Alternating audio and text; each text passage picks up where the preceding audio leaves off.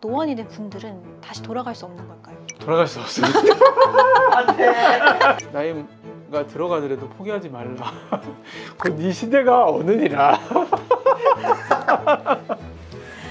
아니야 아니야 아니야. 이거 이렇게 끝내려고? 먼저 안녕하세요. 네 안녕하십니까 제가 오늘 재밌는 걸 준비해왔습니다. 제가 사진을 보여드릴 건데 이 사람들이 각각 몇 살 정도로 보이는지 맞추시면 되는 거예요. 다 맞추시면 선물이 있습니다. 아, 선물까지? 무슨 선물? 첫 번째, 이분은 몇 살일까요? 오 진짜 어렵다 사람들 나이 잘 맞추는 편인데 30대 30대? 예, 확실한가요? 40대 같기도 하고 30대 40대요. 같기도 하고 40대, 30대. 네. 정답은 18살입니다. 와 원래 고3은 잘 어려워 이분은 몇 살일까요? 어, 이분은 연예인인 것 맞아요. 같은데 이분도 30대인가? 40대 초반 아니면 30대 후반 이분은 네, 20대 39살이세요. 아 맞추셨어요. 맞췄네 어. 한 개 맞추셨고요. 이분. 아 이분은 나랑 나이대 비슷할 것 같은데 40대 후반 뭐 50대 초반? 네.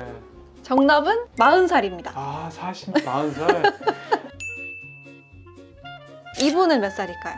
아 이 친구는 가수잖아요 그러니까 가수가 딱 아니다 딱 한거면 그쵸, 딱 봤을 때. 30대 정도 40대. 40대? 아니 40대로 맞아 죽으려고 40대 아니지 정답은? 20대 후반 음. 30살입니다. 아 맞췄잖아 맞췄네, 20대 후반 두명 맞추셨어요, 두 어, 문 명. 닫을 수도 있어 우리나라가 동안민국이라고도 불릴 만큼 동안들이 많잖아요. 그럼에도 불구하고 이렇게 나이보다 훨씬 늙어 보이는 분들도 많더라고요. 그래서 오늘은 노안에 대해서 이야기를 해보려고 합니다. 정확하게 노안의 기준이 있을까요? 인터넷 검색을 우선 해봤어요 노안 그럼 뭐 나올 것 같아요? 눈 얘기밖에 안 나와 아, 노안.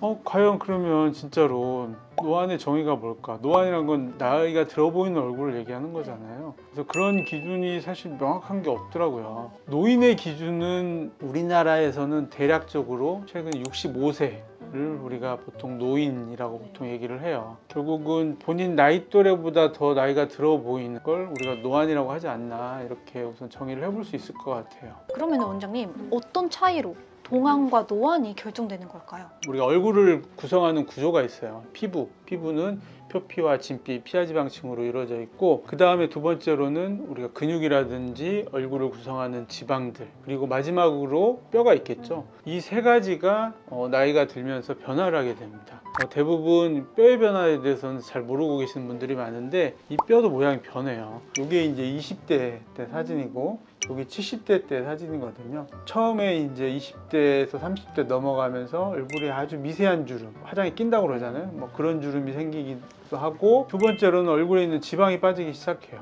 그래서 이제 눈밑 고랑이라든지 팔자가 조금 깊어지고 마지막으로 나이가 더 들게 되면 중력 방향에 의해서 좀 밑으로 처지죠. 뚜렷했던 턱선이 무너지고 지방이 처지고 이런 변화들을 서서히 가져오는 거죠.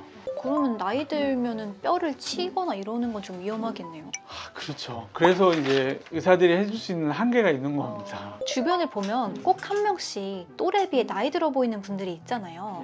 또왜 유독 그 사람들은 나이가 좀 들어 보이는 걸까요? 그런 분들은 유심히 좀 살펴봐야 될 필요도 있을 것 같아요. 물론 가장 첫 번째로는 뭐 유전적인 요인도 있겠죠. 두 번째로는 해박적 구조, 특히 중안면 얼굴을 비교해 보면 그앞 광대라고 그러는데 동양인들은 여기가 좀 밋밋해요.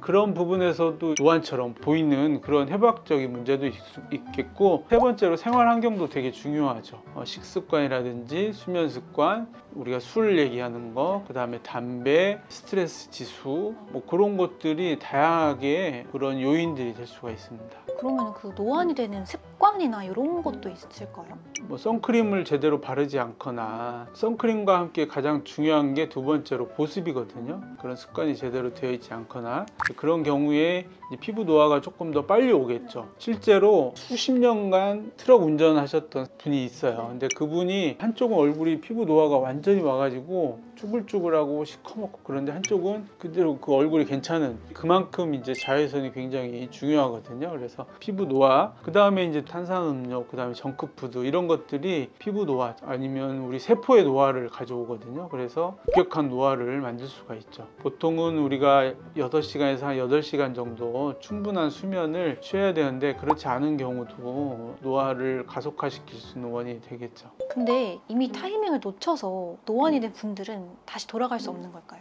돌아갈 수 없습니다. 은우님을 찾아가야 돼요. 원장님을. 본인이 이제 할 수 있는 것들이 첫 번째가 있겠죠. 어, 그동안에 뭐 선크림을 제대로 안 발랐거나 또는 보습제를 제대로 안 썼거나 했던 경우에 성실하게 사용해 보는 것도 되게 중요하고 두 번째로 생활 습관을 바꿔야 되겠죠. 충분한 수면을 취한다든지 규칙적인 운동 되게 중요하죠. 어, 그리고 이제 두 번째로는 이제 말 그대로 은우님을 찾아가야 되겠죠. 나이대별로 이제 본인이 할 수 있는 시술들이 있거든요. 그래서 뭐 그런 시술들을 티 안 나게 해가면 최소한 내 친구보다 내 동료보다 어, 몇살 정도 어려 보일 수 있게끔 가능하지 않을까 이런 생각이 듭니다. 연령대별로 10살씩 어려 보이게 만드는 방법 좀 알려주실 수 있나요?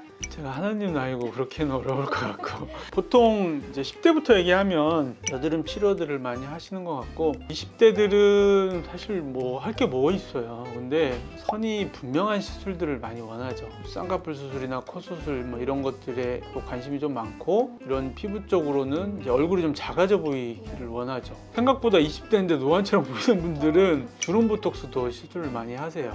25세부터 이제 노화가 진행된다고 하니까 어, 미리 미리 슈링크 유니버스라든지 인모드 그런 시술들을 조금 선호하시는 것 같고요. 그 다음에 이제 나이가 30대 넘어가게 되면 그동안에 이제 보이지 않았던 이제 주름이라든지 필러 시술을 같이 병행해 볼 수도 있고 뭐 고주파 시술, 포텐자라든지 스킨 부스터 요즘 많이 나와 있거든요. 피부 재생을 시켜주거나 미백에 도움이 되거나 30대인데도 여드름이 있는 분들은 항염증 효과가 있는 그런 스킨 부스터들이 같이 있어서 그런 것들을 같이 병행하시면 좋을 것 같고 그 다음에 이제 40대 50대는 거기에 또 플러스 알파해서 자주 안 와도 되는 뭐 울세라나 써마진 6개월에서 1년에 한 번씩 하시는 거니까 뭐 그런 시술과 함께 중간에 틈틈이 시간이 나시는 분들은 뭐 리프팅으로 티타늄이라든지 뭐 이런 시술들을 같이 병행하시면 좋을 것 같습니다 노안이어서 고민인 분들께 한 말씀 부탁드립니다. 나이 가 들어가더라도 포기하지 말라. 곧네 시대가 오느니라. 아니야 아니야 아니야 이렇게 끝내려고 진짜로? 노화라는 게 외부적인 요인과 내부적인 요인이 있거든요. 우리가 살아가면서 환경적인 요인도 매우 중요하기 때문에 좀 신경 쓰면서 생활하시게 되면은 훨씬 더 나이를 천천히 먹게 되겠죠. 그 다음에 병원의 도움도 살짝 받으시면서 생활하시면 행복한 생활을 할 수 있지 않을까 이런 생각이 듭니다